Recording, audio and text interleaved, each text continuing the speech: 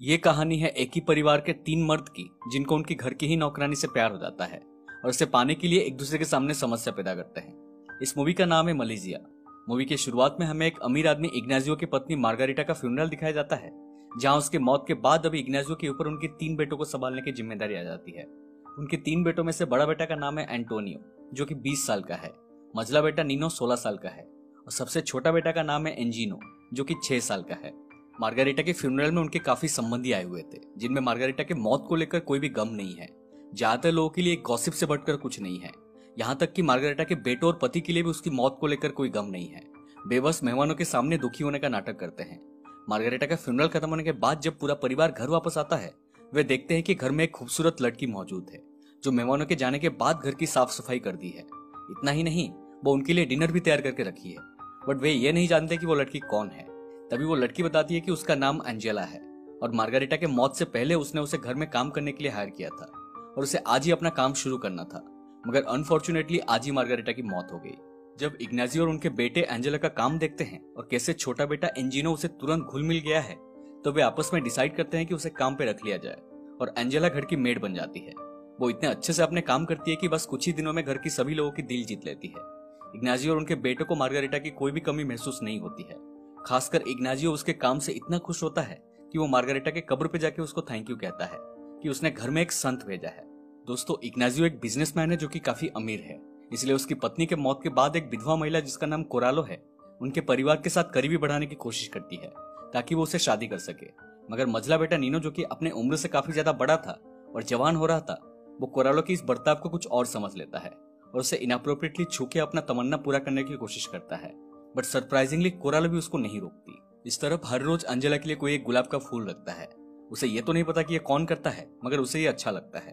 उसे लगता है कि शायद घर की लोगों में से कोई उसे पसंद करता है। एक दिन अपने दोस्तों के साथ फुटबॉल खेलते हुए नीनो को चोट लग जाता है। जब वो घर वापस आता है, तब एंजेला उसकी मलम पट्टी कर देती है। वो एंजेला से ये बात इग्नाजियो को ना बताने के लिए रिक्वेस्ट करता है, नहीं तो उसे काफ़ी डांट पड़ेगी। अगले दिन नीनो ये बात जाके अपने दोस्त फोर्चुलो को बढ़ा चढ़ा के बोलता है कि उनकी नई मेड एंजेला ने उसकी मलम पट्टी की है। और पोर्सेलो काफ़ी हरामी है। वो उसे ऑफ़र देता है कि अगर वो उससे भी एंजेला की खूबसूरती दिखाएगा तो इसके बदले वो भी अपने सिस्टर को बिना कपड़े में उसे देखने की इजाज़त देगा। और वो हरामी ऐसा करता भी है। दोस्तों, हमारे लाइफ में भी ऐसे काफ़ी हरामी दोस्त है जिनके बातों में आकर हम काफ़ी गलतियाँ करते हैं। तो घर वापस आने के बाद अब नीनो की नज़रिया अंजला के प्रति बदल जाती है और वो उसे गंदे नज़र में देखने लगता है। वो अपने छोटे भाई एंजिनो के साथ एक कमरे में सोता है। हर रात अंजला उस कमरे में ये चेक करने आती है कि कहीं एंजिनो ने बिस्तर पर सुसु तो नहीं कर दिया? आज रात भी जब वो ये चेक करने आती है, तब नीनो उसे एक नाइट ड्रेस में देख के फैंटासाइज करने लगता है। और ये बात एंजेला को भी पता चल जाती है।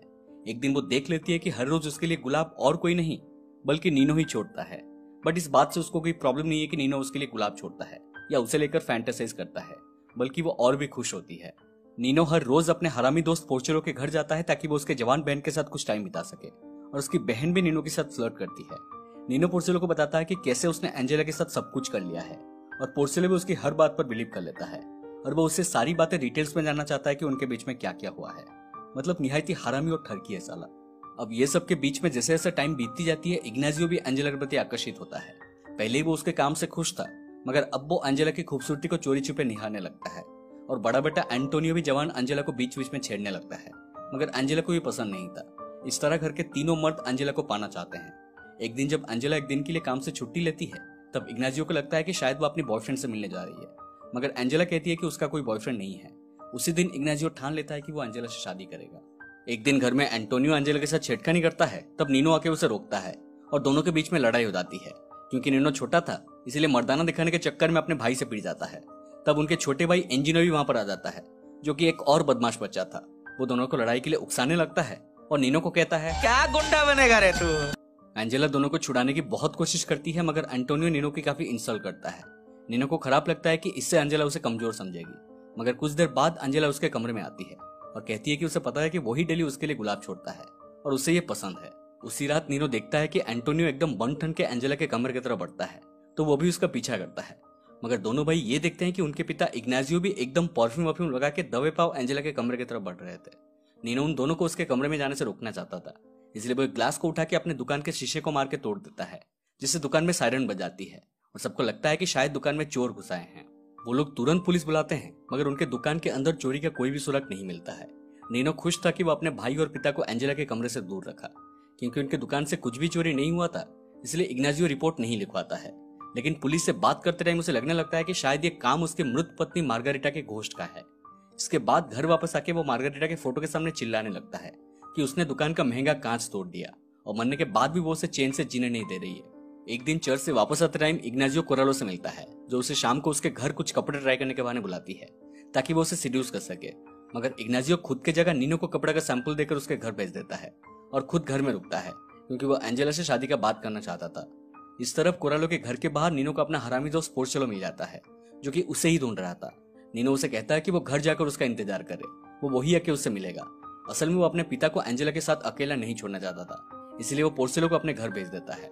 इधर कोरालो के घर में कोरालो से वाइन पिलाती है और उसे चिपक के सीड्यूस करने लगती है। नीनो भी इसे एंजॉय कर रहा था, मगर तभी उसका हरामी दोस्त वापस आ जाता है, जिसे नीनो काफ़ी गुस्सा हो जाता है। पोर्सेलो कहता है कि उसके पिता इग्नाजियो ने उसे डांट कर वहाँ से निकाल दिया।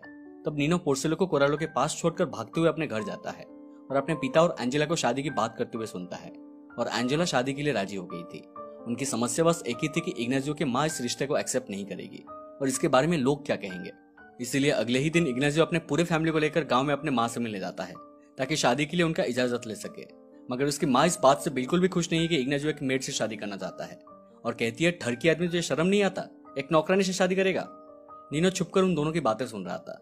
उसे एक आइडिया आता है कि अगर किसी तरह वो ये साबित कर दे कि छोटा बेटा एंजिनो को एंजेला पसंद नहीं है, और वो अपने माँ मार्गरेटा को भूल नहीं पा रहा है तब उन दोनों की शादी नहीं होगी। इसीलिए रात को नीनो एंजिनो को नींद से उठाता है और कहता है कि माँ उसके सपने में आई थी और वो बहुत दुखी थी, क्योंकि तुम इसे भूल गए हो और उसकी जगह एंजेला को पसंद करते हो। ये सुन के एंजिनो रोने लगता है। तब नीनो उसे चिल्ला चिल्ला के रोने कहता है, जिससे उसकी माँ को पता चल जाए कि एंजिनो सिर्फ़ उन्हें ही चाहता है। एंजिनो माँ माँ करके चिल्लाने लगता है, जिससे घर के सभी लोग जग जाते हैं।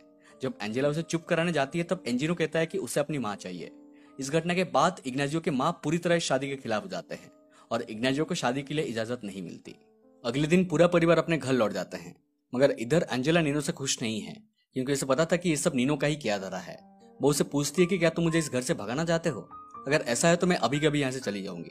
वो कहती है कि मुझे समझ नहीं आ रहा कि तुम्हें क्या चाहिए, बट नीनो इसका कोई भी जवाब नहीं देता है। मगर ऐसा नहीं है। दोस्तों एंजेला एक गरीब परिवार से थी। वो भी इग्नाजियो से शादी करना चाहती थी क्योंकि फिर उसकी लाइफ पूरी तरह से सेट हो जाएगी और उसे समाज में रिस्पेक्ट भी मिलेगी। नीनो एंजेला को लेकर अपने मन में कई फैंटेसीज बनाकर रखा है, और उसे अब मौका मिल चुका है। वो जानता है कि अब एंजेला को ब्लैकमेल किया जा सकता है।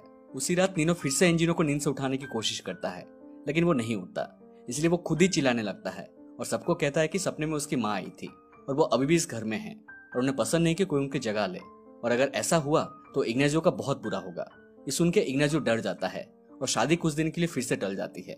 मतलब नीने अपने पिता के साथ एंजेला की शादी को टालने के लिए हर संभव कोशिश कर रहा था। अगले दिन जब सब लोग घर में टीवी देख रहे होते हैं, तब नीनो एंजेला को इनअप्रोप्रिएटली छूने लगता है। मगर एंजेला इसका विरोध नहीं करती, इससे उसकी हिम्मत और भी बढ़ने लगता है। और दिन प्रतिदिन वो उसे ब्लैकमेल करके अपने फैंटेसीज पूरा करने लगता है। कभी वो उसे बिना अंडरगार्मेंट्स के कपड़े पहनने के लिए कहता है, कभी वो उसे अपने पिता के सामने अंग प्रदर्शन करके उन्हें सेड्यूस करने कहता है, कभी वो उसे अपने सामने कपड़े उतारने के लिए कहता है। एंजेला उसकी हर ख्वाहिशें पूरी करती है, क्योंकि इसमें उसकी भी अपनी स्वार्थ थी। वो इग्नाजियो से शादी करके एक रईस परिवार का हिस्सा बनना चाहती थी। नीनो के डिमांड्स अब बढ़ने लगते हैं और ना चाहते हुए भी एंजेला उन सबको पूरी करती है। जैसे जैसे एंजेला नीनो की ख्वाहिशें पूरी करती जाती है, उसकी और इग्नाजियो की शादी के बीच आ रही समस्या दूर होते जाते हैं। इस तरफ़ इग्नाजियो भी अब खुद पर काबू नहीं कर पा रहा था और एक बार फिर से अपने माँ से शादी का बात करने चला जाता है। वो ये तय करता है कि इस बार किसी भी हालत में शादी होकर ही रहेगी, भले ही उनका इजाज़त हो या ना हो। इस रात एंटोनियो भी अपने दोस्तों के साथ पार्टी करने बाहर चला जाता है।